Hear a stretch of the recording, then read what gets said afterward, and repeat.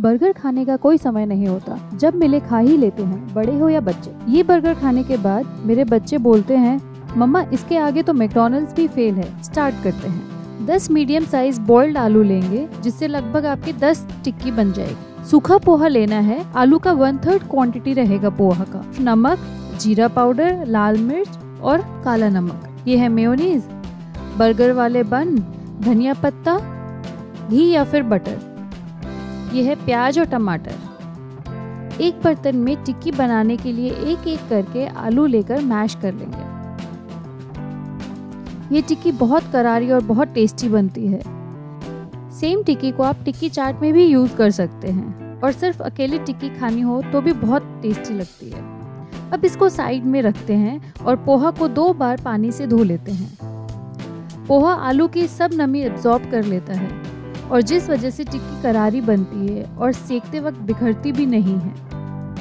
पोहा को हमने दो मिनट छोड़ दिया है ताकि वो सॉफ्ट हो जाए।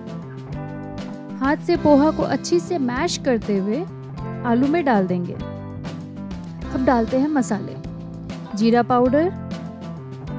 अब डालेंगे नमक, लाल मिर्च पाउडर और काला नमक।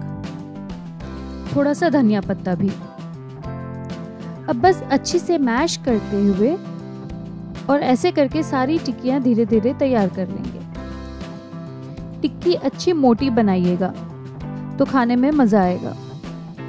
अगर आपके घर में गेस्ट आ रहे हो या फिर बच्चों की बर्थडे पार्टी हो तो इन टिक्की को आप दो या तीन दिन पहले भी बनाकर फ्रीजर में स्टोर कर सकते हैं। अब पैन गैस पे चढ़ाते हैं। टिक्की को फ्राई करने से पहले आधी घंटा आप फ्रीजर में रख दें। इससे टिक्की बहुत क्रिस्प बनेगी और ऑयल भी कम अब्जॉर्ब करेगी। टिक्की को हम डीप फ्राई नहीं करेंगे शैलो फ्राई ही करेंगे। बटर में धनिया पत्ता डालकर बन सेकते हैं तो फ्लेवर बहुत अच्छा आएगा। जब तक ऑयल गर्म हो रहा है, हम बंस में प्यार से बटर लगाएँगे दोनों तरफ़ और सेक लेंगे। अब आप देखेंगे ऑयल गर्म हो गया है, अब फ्लेम को मीडियम कर देंगे और एक एक करके टिक्की डालते जाएँगे। टिक्की डालने के बाद बार बार हिलाना नहीं है, उसको अच्छे से सीखने देना है। अब प्याज और टमाटर को एक मिनट के लिए दोनों तरफ़ से सेक लेंगे। सिर्फ़ उसका कच्चापन खत्म करने के लिए। टिक्की को चेक करते रहेंगे और साइड से देखेंगे तो समझ आ जाएगा कि गोल्डन ब्राउन हो गई है। तब टिक्की को पलट देंगे।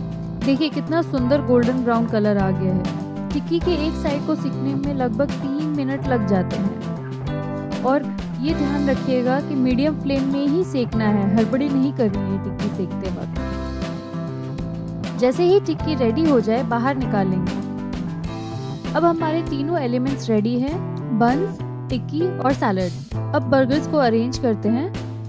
बंस के बेस पे लगाएँगे म्योनीज उस पर रखेंगे प्याज और टमाटर। इसमें आप अपने टेस्ट के हिसाब से और भी चीज़ें ऐड कर सकते हैं। जैसे कि मस्टर्ड सॉस केचप धनिया की चटनी या फिर चीज़ की स्लाइस अब इस पर रखेंगे टिक्की और सीज़न करेंगे नमक, काली मिर्च और बहुत सारे प्यार से। ऊपर बन रखेंगे और पटेटो चिप्स के साथ प्लेटिंग करेंगे। तो ये लीजिए, बच्चों के लिए टेस्टी टेस्टी बर्गर तैयार है। आपके समय के लिए धन्यवाद। लाइक और सब्सक्राइब ज़रूर कीजिएगा। Thank you